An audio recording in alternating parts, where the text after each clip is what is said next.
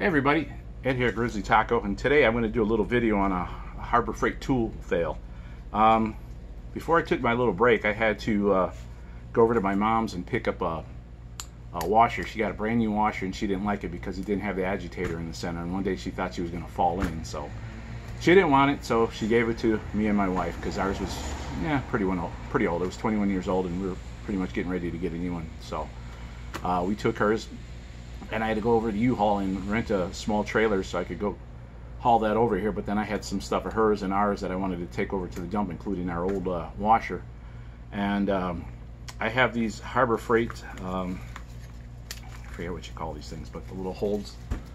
And uh, God, these are garbage. I'm going to tell you right now. Uh, the straps, the hold down straps. Uh, very first time I used this thing, the little button here broke off that you use. This is a new one. I don't know if you guys can see it, but the little black button missing. It broke off the very first time I pushed it. I was so pissed. Uh, I was trying to ratchet the, all that stuff down so I wasn't going to have that moving all around while I was uh, hauling it over to the dump. And uh, the damn thing broke very first time. I would not get these again. Um, these cheap. I had some years ago some really nice ones. I think I got them at Pep Boys, a set of four. Um, but when I my the truck I had them in got stolen, you know, I lost all that. So I think I'm going to go back to Pep Boys and get another set because I'm not kidding. These are cheap. I wouldn't trust this for nothing. Um, they're very thin and flimsy, and they're they're crap. Okay. Now I've I, am not down on Harbor Freight. Don't get me wrong. I've had other stuff there that I really enjoyed, but these no.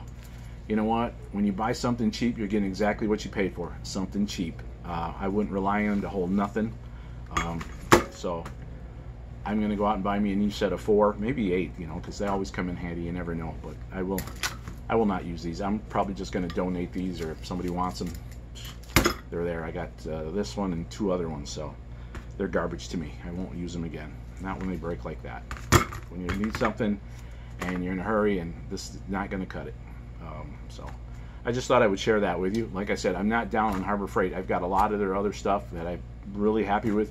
But these I am not, and I will not buy them or any of the other ones again from them. So you guys enjoy your Sunday, and I'll talk to you later. Bye-bye.